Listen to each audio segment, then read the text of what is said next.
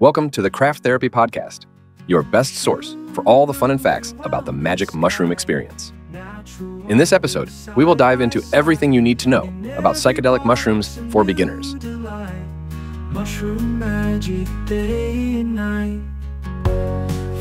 This ultimate guide to psychedelic mushrooms for beginners is intended for educational purposes only. We are not taking any stances, diagnosing, or treating anyone.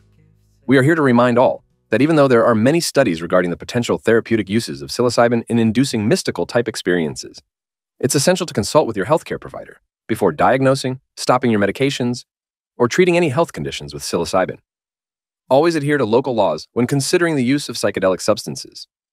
To learn more about magic mushrooms, subscribe to our newsletter on our site, theshroomgroove.com. You may have questions about how you can consume magic mushrooms, what is important to consider for your first macrodose, and so on. This guide aims to provide you with a solid and scientific based information to understand, respect, and safely navigate the world of psychedelic mushrooms. So, let's find your groove. First of all, what are psychedelic mushrooms anyway? Psychedelic mushrooms, also known as magic mushrooms, are a group of fungi that contain psychoactive substances like psilocybin and psilocin. Once ingested, psilocybin is converted in the body to psilocin, which is the primary active compound that affects the brain. Psilocin directly affects serotonin receptors in the brain, leading to altered states of consciousness, such as altered perception of time and space, visual and auditory hallucinations, and profound changes in emotions and thought patterns. Where did magic mushrooms come from? The tale of psychedelic mushrooms is as captivating as the journey they induce. From the indigenous tribes of Siberia to the ancient civilizations of Central America, these fungi have been used for centuries to transcend the ordinary and connect with the divine. But how did they make their way into Western culture? In 1955, R. Gordon Wasson and his wife Valeria participated in an indigenous mushroom ceremony in Mexico, which led to the popularization of the term magic mushrooms after their experience was published in Life magazine in 1957. How do you actually take psychedelic mushrooms? In this guide to psychedelic mushrooms for beginners, you'll learn that they can be consumed in various ways, depending on personal preference and the desired intensity of the experience. Here are some common methods. You can eat them raw or dehydrated. This is the most straightforward method to consume mushrooms. However, some find the taste unpleasant, and some say it may upset their stomach at times if a large dose is consumed raw. This is because they can be, uh, not so tasty. So, if consuming them dehydrated, try to drink a lot of water afterward. Brewing the mushrooms into a tea can make them easier to ingest and can help reduce nausea that some people experience. Add some honey and some citrus to enhance the effects. For those who want to avoid the taste altogether, psilocybin mushrooms can be ground into a powder and encapsulated. Some people who microdose put the powder from a capsule inside a smoothie or coffee. Another form of consuming psilocybin is soaking the mushrooms in lemon or lime juice before consumption which is believed to convert psilocybin into psilocin, potentially enhancing its effects. Psilocybin mushrooms can also be incorporated into food items like chocolates, gummies, or cookies to mask the taste. We don't recommend heating the mushrooms for too long, as it may break down some of the psilocybin. Regardless of the method, it's crucial to start with a low dose and clearly understand the potency of the mushrooms to ensure a safe and enjoyable experience.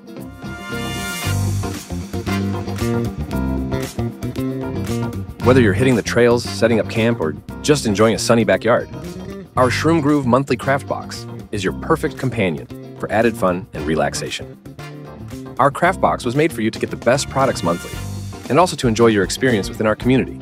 Check out our Shroom Groove monthly craft box for the best groove experience at theshroomgroove.com.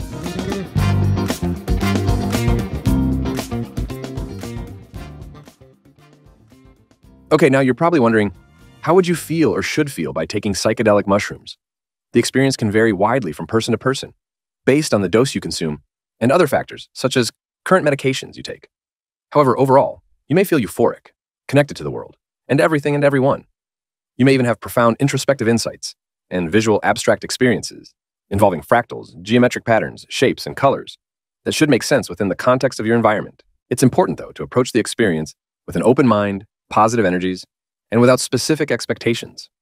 Which leaves us with the social setting. If you are prone to introspection or not, maybe you should reevaluate having this experience alone or with some friends you feel more secure with. If you want to try it alone, it's important to be true to yourself about your overall well being. Are you having a tendency to feel down or insecure most of the time? If you are, then maybe it's better to wait a little longer until you have your first experience with magic mushrooms. This is because, as with any other substance, it may trigger some memories and thought patterns that can lead you to a bad trip. Any substance will invariably highlight what we are avoiding or still processing in our minds. Anything will not simply appear as a magical thing.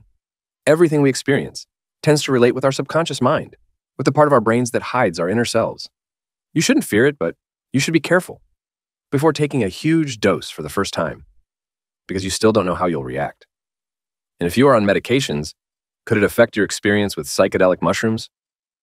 Yes, certain medications, especially those affecting serotonin levels or receptors like SSRIs, SNRIs, MAOIs, SARIs, other antidepressants, sedatives, benzodiazepines, antipsychotic medications, and some street drugs, amphetamines, LSD, MDMA, can interact with or dull the effects of psilocybin.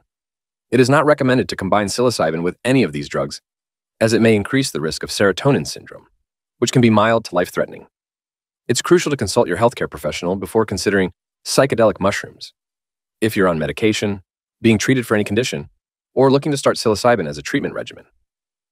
What quantity of psychedelic mushrooms should you start with, and how much time do you have to wait to feel something? When it comes to psychedelic mushrooms for beginners, it's recommended to start with a low dose, such as 0.5 to 1.5 grams of dried mushrooms for an experience, and 0.15 to 0.4 grams for a functional microdose. If you want to know more about microdosing psilocybin, listen to our first episode in this series. The effects can start within 20 to 40 minutes and peak around 2 to 3 hours after ingestion. The peak may last for about 1 or 2 hours. You can wait at least 1 hour to gauge your status and see if you want to take more. However, the time can also vary based on individual factors. Some people may not feel anything at all in a low dose, for example. For microdosing, you will barely feel it or will not even feel it at all. If you do, you will basically feel lighter and fully functional to go about your daily life. Even when you don't necessarily feel anything, though, the health and mood balancing effects will still be working on microdoses. Talking about legal considerations. How can I verify if it's legal in my country slash region? The legal status of psychedelic mushrooms varies by country and region. It's crucial to be informed about the laws in your area or where you're traveling to, and to approach with caution and responsibility. You may consult your local city offices to check on local regulations and with state offices to conduct research on specific state guidelines. In this ultimate guide to psychedelic mushrooms for beginners, we are providing you all the information necessary to be aware and knowledgeable about the world of shrooms. And we'd like to invite you to read our article, Psychedelic Mushrooms Legalization, a worldwide view on our site.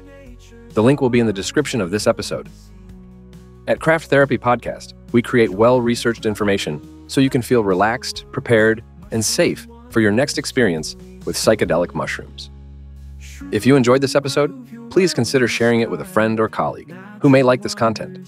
Make sure to also get all the information you need about magic mushrooms by subscribing to our newsletter on our site, theshroomgroove.com. And if you want to know our products, enjoy your $15 reward on your first visit. We would love to meet you at our Shroom Groove stores.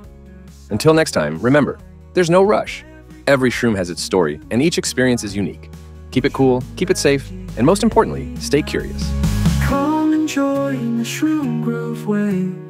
Healthy living every day. Mushroom magic pure and bright. Shroom Groove brings well